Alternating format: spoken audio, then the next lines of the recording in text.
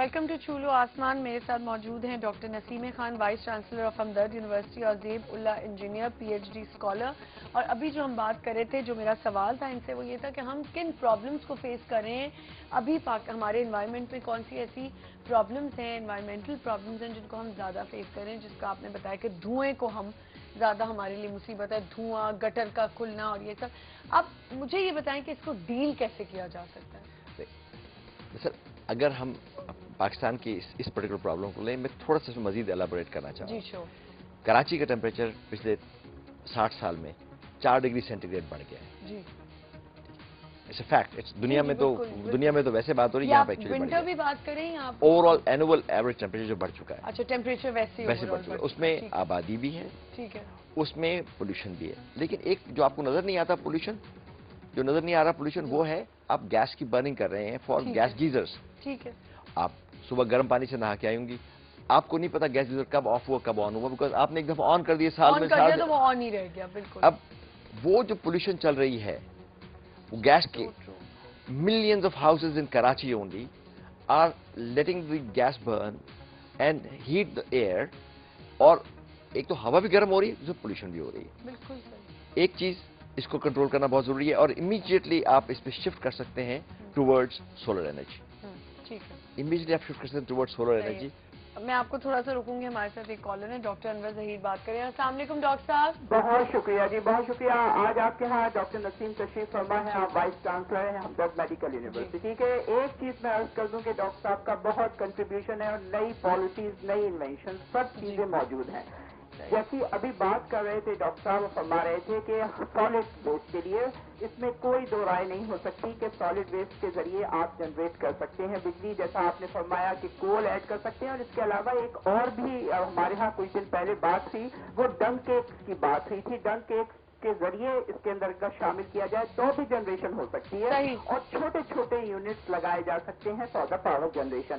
اس کے علاوہ جو اور سب سے بڑا کام ڈاکٹر صاحب نے کیا لیکن اس کے اوپر ابھی تک امپلیمنٹیشن جیسا کہ ہونا چاہیے تھا میں ویسا نہیں ہوا۔ وہ ہے آپ کا سولر سولر سولر کام ہاں۔ بہت ہوا لیکن سولر کے اوپر اس طریقے سے کام نہیں کیا جاتا ایک چیز اگر سولر جو ہے وہ ہمارے ملک کے اندر تقریباً گیارہ دس مہینے اتنی ہیٹ ہوتی ہے اور سورج کی توانائی سے اگر آپ جنریشن چاہیں تو بہت زیادہ طریقے سے کی جا سکتی ہے۔ اور ایک اور چیز جو آپ کر سکتے ہیں جیسے تھر کول ہے اس کے علاوہ آخر میں میں جو ایک بات کنکلوڈ کروں گا جو کہ انوائرمنٹل پولوشن کے اوپر بات کی جی۔ جاتی ہے۔ دیکھیے بات یہ ہے کہ پورے دنیا کے اندر جو ہے وہ گلوبل وارمنگ گلوبل وارمنگ کی وجہ سے آپ کو پتا ہے کہ گلیشیئر پگھلے اور جب گلیشیئر پگھلے تو فلڈس آئے اور اس کے ساتھ ہیوی رین فال یہ تمام چیزیں پھر ہمارے ہاں جنگلات کے اوپر کاٹ دیا گیا جس کی وجہ سے اور دوسرے ہیزرٹس ہوئے۔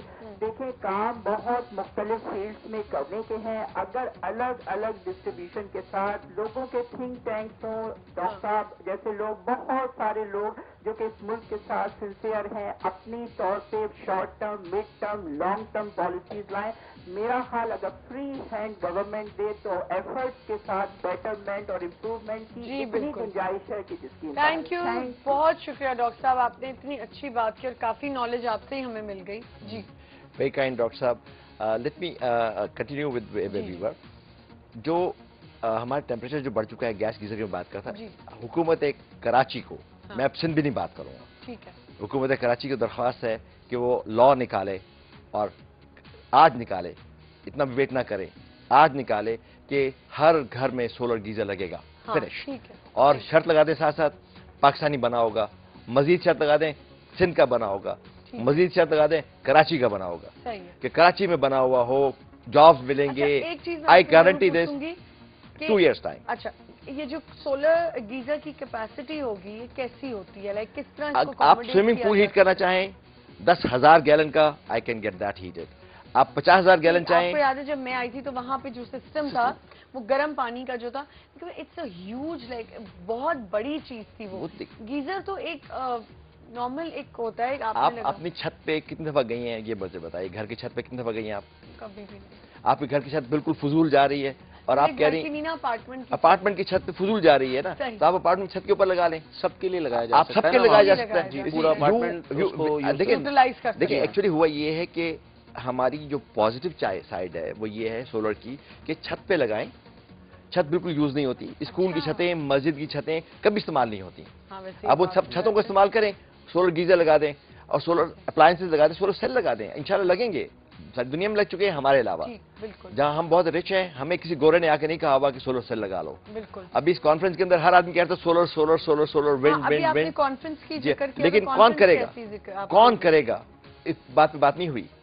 میں نے کوشش کی تھی مجھ سے وہ ریز ہینڈ لیکن so many people to talk تو I was not given opportunity to talk there I issue is who is going to do it اچھا۔ کون آدمی کام کرے گا؟ کس کے پاس نالج ہے؟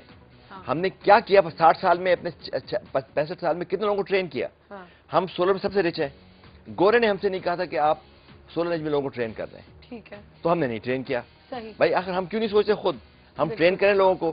ہمارے اسٹوڈنٹ جو ہیں جیسے زیب اللہ خان صاحب جو انجینئرنگ کریں پی ایچ ڈی کریں what he is doing is یہاں پہ جمپیر کے پاس پچاس ملین ٹن کوارٹس پڑا ہوا ہے ہاں۔ جو سولر سیل کے لیے پری ریکوزٹ ہے his P H D is to melt that quartz to make it metallurgical grade silicon صحیح ہے۔ اس سے آگے ان کا کام شروع ہو جائے گا۔ اور سولر سیل کو ہم را مٹیریل پہ کنٹرول کر دیں گے۔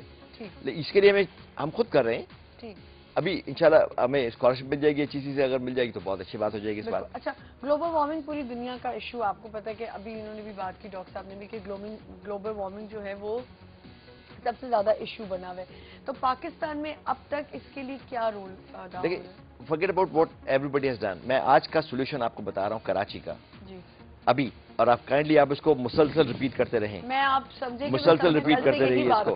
پہلا جو ہے پہلا جو ہے آپ ہر گھر میں ہر مسجد میں سولر سولر گیزر لگا ہر اسکول کے اندر سولر لیب آ جائے۔ تاکہ۔ بچے کو آج آپ ایکسپوجر کریں جیسے آپ نے یونیورسٹی میں ایکسپوجر دیکھا تھا۔ بالکل۔ اگر ہم اپنے بچوں کے کرے قلم میں وہ چیز کریکولم ڈال میں ڈالیں آج۔